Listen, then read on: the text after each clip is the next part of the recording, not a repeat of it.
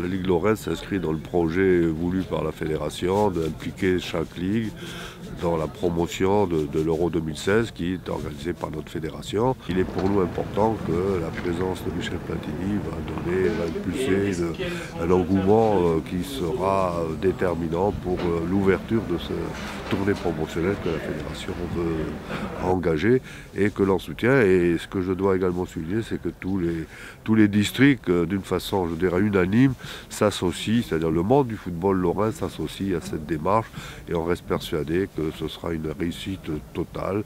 Et le coup d'envoi sera donné le 15 et 16 mai euh, à Jeux.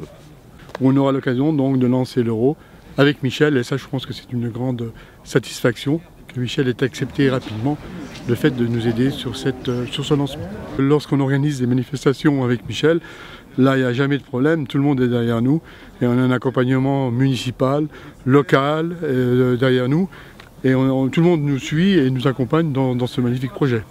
Donc on, a voulu que cette dimension devienne Lorraine et couvre l'ensemble des, quatre départements et des cinq districts, parce qu'on veut faire profiter à l'ensemble des jeunes lorrains cette manifestation et cette approche de l'euro.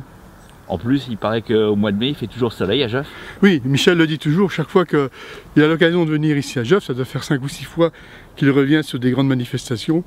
Et par chance, à chaque fois, c'est le soleil est, la partie. Et d'ailleurs, Michel dit, de toute façon, chaque fois que je viens à Jeuf, il fait toujours beau.